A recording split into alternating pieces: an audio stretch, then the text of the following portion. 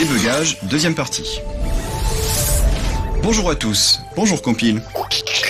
Ah, Compile a encore bugué. Bonjour Cyril Faudrait quand même que tu corriges ce bug, ça fait plusieurs fois que ça m'arrive maintenant. Ah, Compile. Effectivement, faudrait que je te débug un peu.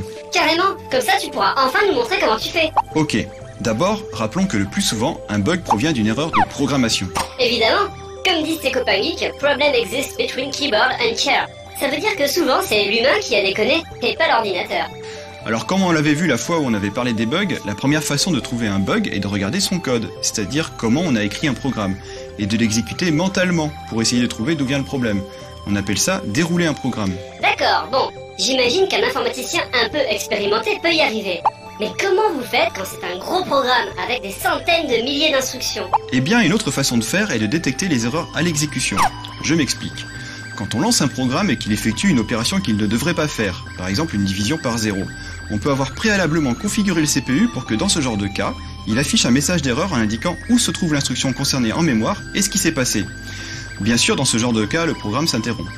Quand l'erreur est vraiment trop grave, c'est ce qui provoque un plantage à l'ordinateur et des messages qui font toujours un peu peur à l'utilisateur. c'est ce qui correspond aux bombes sur Atari ST ou sur moi-même. Attends, regarde. Ou alors au Guru Meditation sur Amiga et plus récemment au Blue Screen of Death sur Windows. Sauf que désormais Windows est beaucoup plus perfectionné et arrive à circonscrire l'erreur pour quitter le programme sans lui-même planter. Ok, mais que ça fasse planter l'ordinateur ou que ça quitte simplement le programme, ça nous avance à quoi pour trouver d'où vient le problème? Bon alors ça c'est ce qui arrive pour l'utilisateur lambda. Ce qu'il faut comprendre c'est que les informations qu'on peut récupérer lors de ce genre de plantage sont assez difficiles à interpréter même pour un programmeur.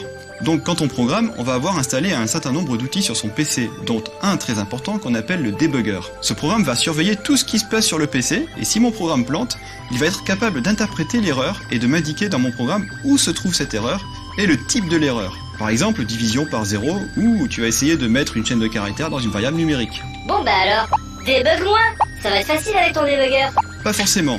Dans le cas d'une division par 0, par exemple, eh ben, je peux avoir fait des centaines de calculs avant pour obtenir une variable. Et c'est quand je divise par cette variable que ça plante si elle est égale à 0. Donc là, il faut réussir à trouver où se trouve le problème avant le moment où se produit le plantage. Pour ça, on va tracer le programme, toujours à l'aide du debugger. Ouais, ok. Mais débug-moi quand même Tracer un programme, ça veut dire qu'on va l'exécuter, mais doucement, pas à pas. En fait, il va s'arrêter à chaque instruction et on va pouvoir voir quel est le contenu de chaque variable, etc et on peut passer à l'instruction suivante n'importe quand en appuyant sur une touche. C'est une façon très commune de débugger un programme. Mais pourquoi tu rajoutes pas tout simplement une instruction dans ton programme juste avant le calcul T'as qu'à lui dire si variable égale 0, alors variable reçoit 1 et hop, plus de division par 0. Ça, c'est un peu comme si pour soigner un doigt coupé, tu te mettais un gant pour que ça fasse plus joli. Mais au final. Bon, d'accord. Bon, alors tu me débugs et, et proprement. Ok, compile, fais-moi voir ton programme d'intro. Nom du présentateur reçoit Cyril. Si début de compiler égale vrai, alors afficher bonjour plus nom du présentateur. Sinon, attendre que Cyril parle. Nom du présentateur reçoit Cyril. Nom du présentateur égale Cyril, et début de compiler n'est pas défini. Bon, ok, passons à la ligne 2. Si début de compiler égale vrai. Ah, mais attends, début de compiler n'est pas défini. Bah, il est là ton bug. Mais pourquoi ça marchait avant? Ben, c'est peut-être ma faute. J'ai changé le programme, j'ai voulu faire une modif pour euh, que ça boot plus rapidement. Bon bah écoute, on va rajouter ça en début de programme. Si Cyril dit bonjour compile, alors début de compiler égale vrai. Voilà, c'est corrigé. Merci Cyril, les données ont été... Ah mais putain, mais qu'est-ce qu'il a encore foutu? Il a aussi touché la sauvegarde?